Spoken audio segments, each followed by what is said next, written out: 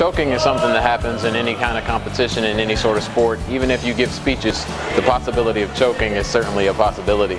But choking is something that's real, certainly in any sport that you may perform in.